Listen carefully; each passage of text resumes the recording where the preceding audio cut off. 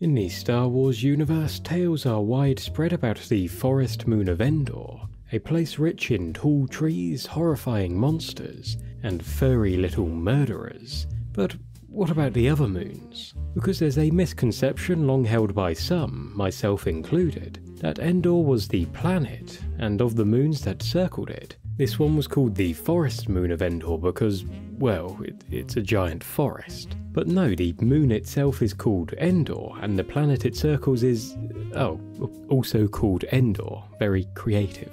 But the larger Endor is a titanic gas giant, and it actually has nine moons in total. But what do we know about these other moons? Can they sustain life? Have they too been exploited by the Empire?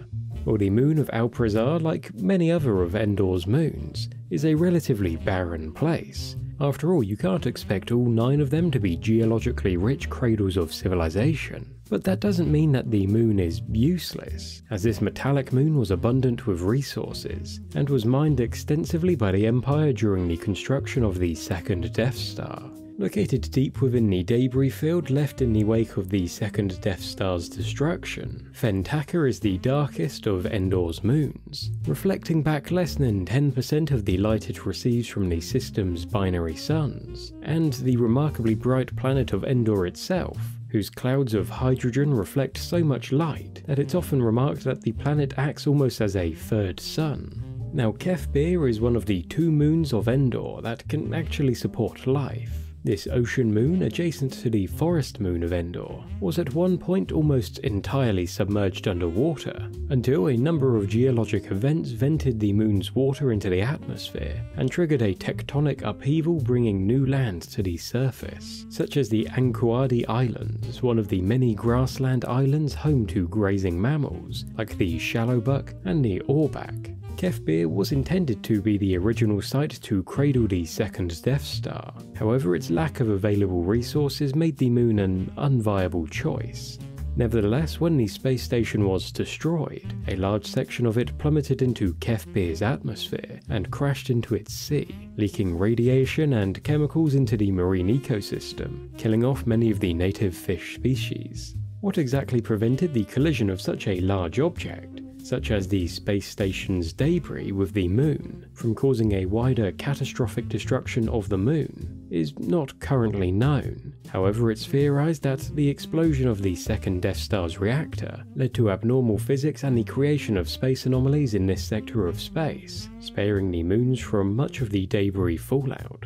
The Red Moon of Guls is a broken and battered place. Its patchwork surface is believed to have been a result of the astronomical body breaking up during its initial formation. The small and oddly shaped moon of Hulmacher is believed to be a rocky comet that was captured by Endor's gravity, while the larger white moon of Korkar is an extremely reflective frozen planet, but beneath its cold exterior lay a liquid ocean. The rather drab and unimpressive looking Charles is little more than a dead moon of rock and ice. Below its surface, however, lay an iron rich core, which could have been mined in some quantity by the Empire. Vix was another bleak moon orbiting Endor. Its nitrogen rich atmosphere rains methane down onto the lifeless moon. One moon rich in life, however, is the famous forest moon of Endor, a world of tall mountains, savannas, swamps, and dense woodland, with trees stretching more than a thousand meters into the air. It was notably home to some 30 million Ewoks, residing in treetop settlements far out of the reach of predators on the forest floor. As the forest moon wasn't just home to the Ewoks, countless other species, both non sentient and sentient, call the moon home